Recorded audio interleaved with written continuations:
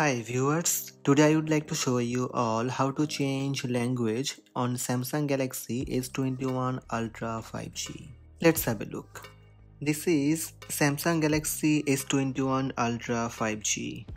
First, you need to swipe up home screen to access app screen. From app screen, tap settings. In the settings, scroll down little bit and find out general management. Tap General Management. Tap Language from top. The language at the top of the list will be used by default. If an app doesn't support your default language, the next language in the list will be used instead. If you would like to add language, tap Add Language.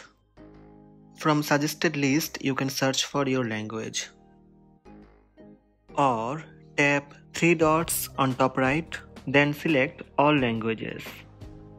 Find out your language from this list and tap on the language. Are you sure you want to set your selected language as default language? Tap set as default.